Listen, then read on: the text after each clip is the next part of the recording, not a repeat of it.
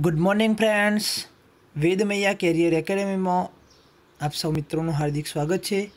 દોસ્તો, આજે આપણે સોલંકી યુગના ઇતિહાસનો ભાગ ત્રણ જોઈશું. અને આજનો આ ભાગ અંતિમ ભાગ રહેશે એટલે ભાગ એક, બે અને ત્રણ. એમ કરીને કુલ ત્રણ ભાગમાં આપણે સોલંકી યુગના પ્રશ્નોની ચર્ચા કરી છે. અને દોસ્તો સોએ સો ટકા આ ત્રણ ભાગોમાંથી પ્રશ્નો પૂછાશે. એવી હું તમને ખાતરી આપું છું. તો શરૂ કરીએ દોસ્તો, આજનો આ ભાગ. કુમારપાળ કેટલા વર્ષની ઉંમરે ગાદી ઉપર બેઠા હતા? તો દોસ્તો, કુમારપાળ પચાસ વર્ષની ઉંમરે ગાદી ઉપર બેઠા હતા. હવે દોસ્તો, પચાસ વર્ષની ઉંમરે ગાદી ઉપર બીજો એક શાસક બેઠો હતો, જે હતો વનરાજ ચાવડા અને જેણે પાટણમાં ચાવડા વંશની સ્થાપના કરી હતી. એ જ રીતે કુમારપાળ પણ પચાસ વર્ષે ગાદી ઉપર બેઠા. કેમ કે સિદ્ધરાજ જયસિંહ ત્રણ વર્ષે ગાદી ઉપર બેઠો એટલે કે ત્રણ વર્ષની નાની ઉંમરે સિદ્ધરાજ જયસિંહ રાજા બન્યો હતો અને તેણે લોંગ ટાઈમ શાસન કર્યું એટલા માટે કુમારપાળ એ પચાસ વર્ષે ગાદી ઉપર બેઠા. હવે દોસ્તો, કુમારપાળ જ્યારે ગાદી ઉપર બેઠા એટલે કુમારપાળ એ સિદ્ધરાજ જયસિંહનું સંતાન ન હતું. કારણ કે સિદ્ધરાજ જયસિંહ પોતે નિસંતાન હતો. હવે એ નિસંતાન હતો એના પાછળનું પણ એક કારણ છે કે જ્યારે તેને રાખેંગાળ ત્રીજા ઉપર એટેક કર્યું અને રાખેંગાળ ત્રીજાની હત્યા કરી, ત્યારે ત્યાં જઈને જોયું તો રાણક દેવીને બે પુત્રો હતા, જે રાખેંગાર ત્રીજા થ્રુ થયા હતા. એટલે તેણે એ બંને પુત્રોની પણ રાણક દેવીની નજર સામે જ હત્યા કરી દીધી.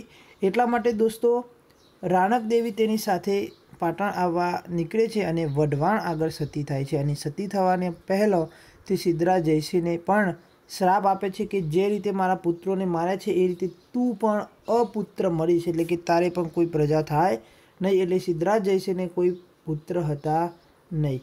એટલે સિદ્ધરાજ જયસિંહ પછી કુમારપાળ એ પાટણનો રાજવી બને છે.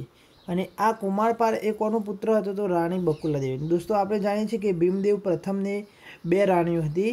ભીમદેવ પ્રથમને બે રાણીઓ. એક હતી મિનરદેવી અને બીજી હતી બકુલા દેવી એક હતી, દોસ્તો, સોરી, ઉદયમતી અને બીજી હતી બકુલા દેવી અને આ બકુલા દેવીનો પુત્ર જે વં જેનો વંશ હતો ક્ષેમરાજ અને આ ક્ષેમરાજનો પુત્ર હતો કુમારપાળ. એટલે કુમારપાળ એ રાણી બકુલા દેવીનો વંશજ હતો. અને આ રાણી બકુલા દેવી એ નૃત્યાંગના હતી. ભીમદેવને એ નૃત્ય કરતો કરતો ગમી ગઈ હતી એટલે ભીમદેવ પ્રથમે તેની સાથે લગ્ન કરી લીધા હતા. અને તેનાથી પ્રાપ્ત થયેલા પુત્રનો વંશજ હતો કુમારપાળ. આથી ભીમદેવ, આથી સિદ્ધરાજ જયસિંહ એવું ઈચ્છતો ન હતો કે કુમારપાળ ગાદી ઉપર બેસે એટલે તે કુમારપાળને મારી નાખવા માટે તેની પાછળ પણ પડ્યો હતો અને આ પાછળ પડવાથી સિદ્ધરાજ જયસિંહ જ્યારે કુમારપાળને મારી નાખવા માટે તેની પાછળ પડ્યો ત્યારે કુમારપાળ એક ખંભાતમાં જઈને સંતાઈ ગયો હતો. તો દોસ્તો, ઘણીવાર ક્વેશ્ચન પૂછાય કે જ્યારે સિદ્ધરાજ જયસિંહ કુમારપાનને મારવા તેની પાછળ પડ્યો, ત્યારે કુમારપાર ક્યો સંતાયા હતા? તો આપણે જવાબ આપીશું કે ખંભાત. જે પ્રાચીન સમયમાં સ્તંભ તીર્થ તરીકે પણ ઓળખાતું હતું.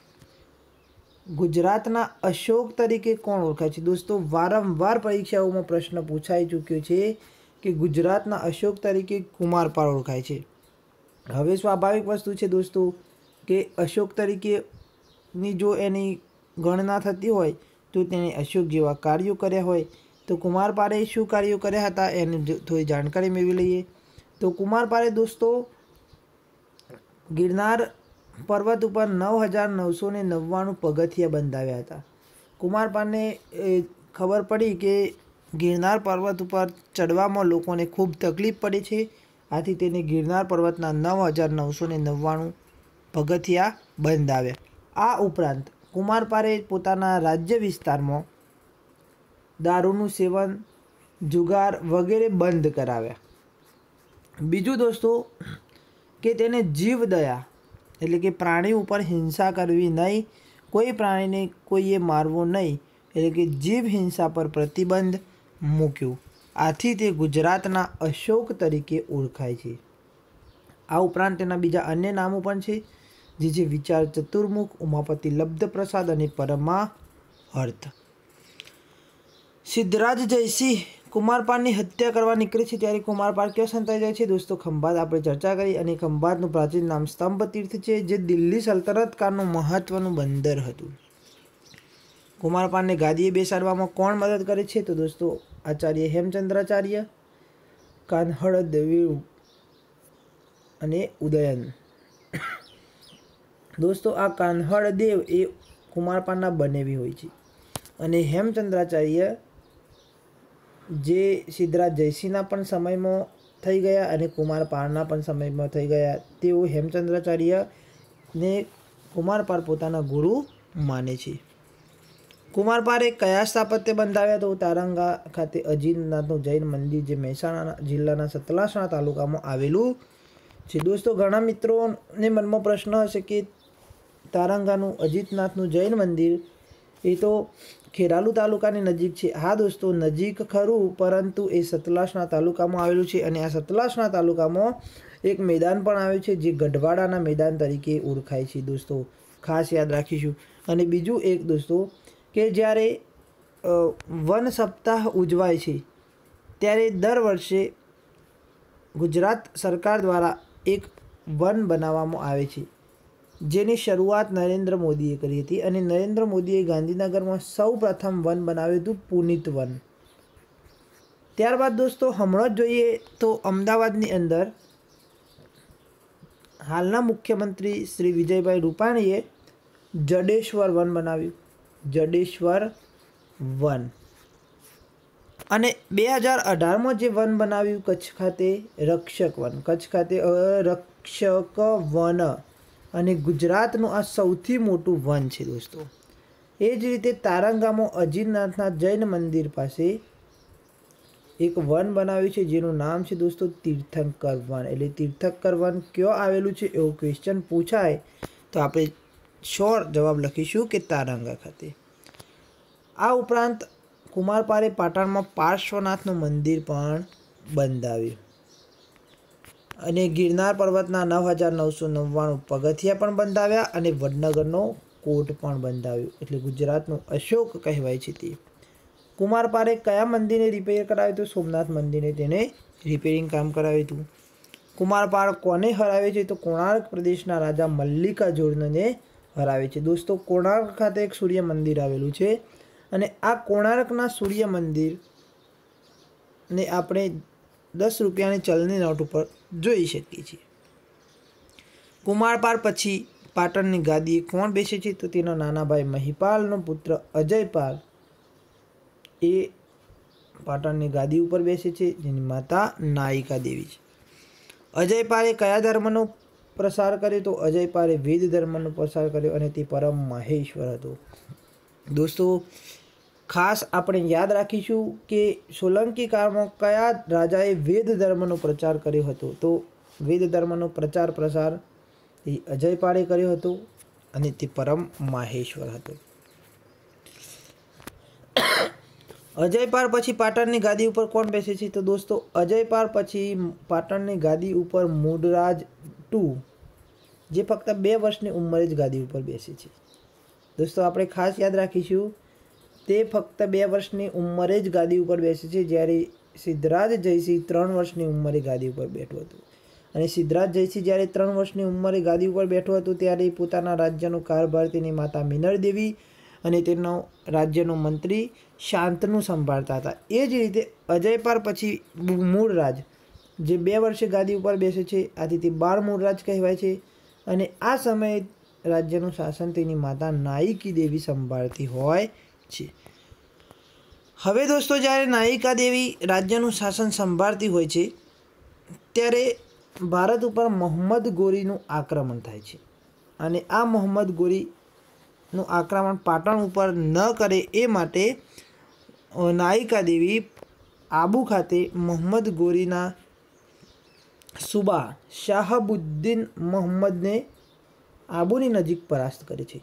તો નાયિકા દેવી કોને પરાસ્ત કરે છે? તો ઈસવીસન અગિયારસો ઇઠ્ઠોતેરમાં મોહમ્મદ ગોરીના સુબા શાહબુદ્દીન મોહમ્મદ જ્યારે ગુજરાત ઉપર આક્રમણ કરે છે ત્યારે આબુની નજીક નાયિકા દેવી તેને પરાસ્ત કરે છે. દોસ્તો, ખાસ આપણે યાદ રાખીશું કે ભીમદેવ પ્રથમ વખત મોહમ્મદ ગઝનવીનું આક્રમણ થયું હતું. એક હજાર છવ્વીસમાં સાત જાન્યુઆરી એક હજાર છવ્વીસ, જેમાં મોહમ્મદ ગઝનવીએ સોમનાથનું મંદિર લૂંટ્યું હતું. અને નાયિકા દેવીના સમયમાં એક અગિયારસો ને ઇઠ્યોતેરના સમયમાં મોહમ્મદ ગોરીનું આક્રમણ થાય છે, જેમાં તેનો સુબો હોય છે શાહબુદ્દીન મોહમ્મદ, જે ગુજરાત ઉપર આક્રમણ કરે છે, પરંતુ આબુની નજીક જ નાયિકા દેવી તેને પરાસ્ત કરે છે. ત્યારબાદ જોઈએ દોસ્તો, આગળનો ક્વેશ્ચન અહીંયા જોઈએ તો કુમારપાળ પછી પાટણની ગાદીએ કોણ બેસે છે? તો એ પ્રશ્નમાં થોડી ટાઈપિંગ મિસ્ટેક છે દોસ્તો, અહીંયા કુમારપાળ નહીં, પરંતુ મૂળરાજ બીજા પછી.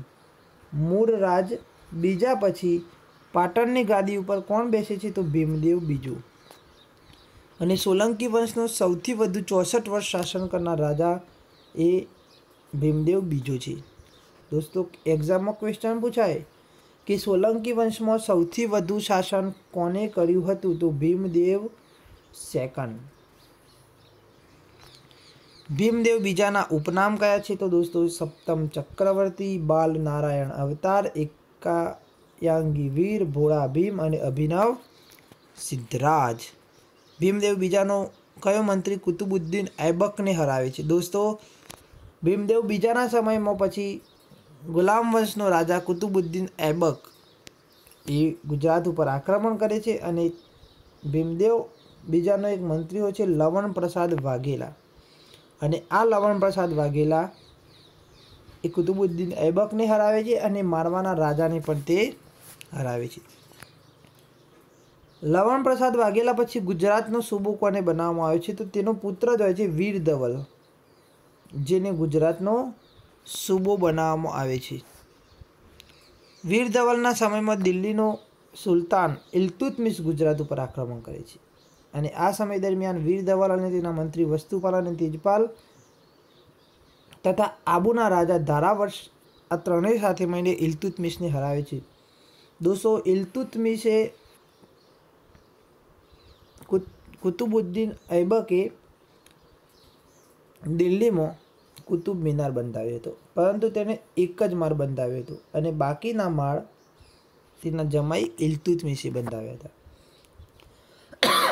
અને દોસ્તો, આ ઇલ્તુતમિશ જેને ગુલામે ચાલીસા, એટલે કે ચાલીસ સરદારો રાખવાની પ્રથા શરૂ કરી હતી અને આ ચાલીસ સરદારો થકી તે રાજ્યનો વહીવટ કરતો હતો. અને દોસ્તો, બીજી એક અગત્યની વાત તમને ઇલ્તુતમિશ વિશે કહી દઉં કે ઇતિહાસમાં એક એવો સુલતાન છે જે ગુલામોનો ગુલામ તરીકે ઓળખાય છે, તે તે છે ઇલ્તુતમિશ ભીમદેવ બીજાના સમયે ગુજરાત પર કયા રાજપૂત રાજાનું આક્રમણ થાય છે? દોસ્તો, ખૂબ અગત્યનો ક્વેશ્ચન છે.